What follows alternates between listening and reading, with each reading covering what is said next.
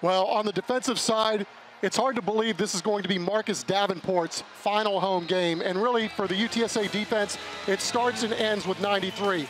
There's a growing sense that this guy is not even going to be available by the third round of the NFL draft. That's what kind of season he's had. But for his career, 21 career sacks, 25 tackles for loss.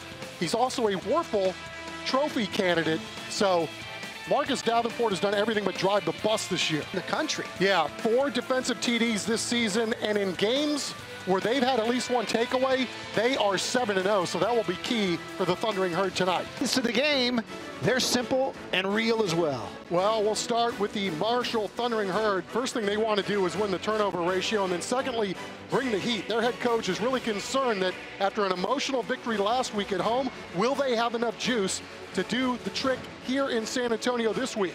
And then for UTSA, don't get anybody up front hurt. My goodness, it's been hodgepodge the last six weeks up front for UTSA. And then lastly, they want to finish off drives with TDs and not field goals. That has been a problem here of late.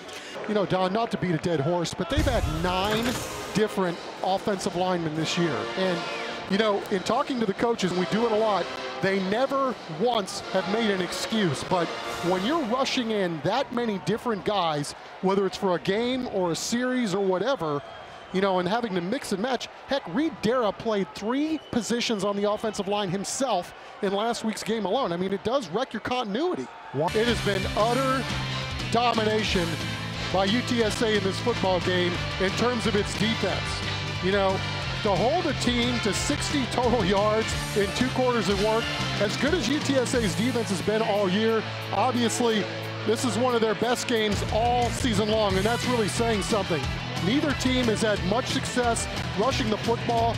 UTSA, though, doing a good job, I think, Don, of going with a balanced attack. They had 16 attempts in the first half, running it, 22 throwing it, They've been really clean throwing the football, hence their ability to at least move the ball down the field. But no turnovers. That's an improvement from a week ago for UTSA where they turned it over three times. And then, you know, early on in the season, we talked about UTSA and how many times they were penalized. To only have one penalty for four yards, that's obviously a win, too. Wow, what a throw by Litton. And then I don't know how this young man kept his feet in bounds. But from my vantage point, it looked like he got both in. Let's take a look. Well, maybe they should look at it before they let him attempt the extra point. He's dragging it. Oh, he's unbelievable.